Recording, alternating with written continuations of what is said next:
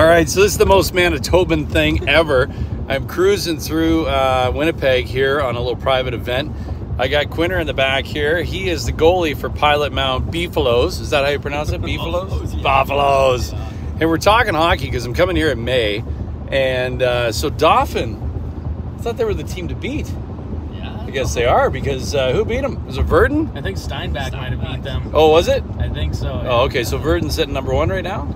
Virden's in the second round. Well, they're in the second round. So anyway, uh, and then Swan River. I'm playing Swan River, but Swan Valley has the hockey team, right? Yeah, yeah, They're still game on. yeah. Okay. All right. And who else? And then uh, there's Virden, Steinbach. Steinbach. Yeah. And there's yeah. Who's going to take it? I'm, I'm gonna have to go with Virden. They just beat OCN, so All right. they're gonna be the ones to beat.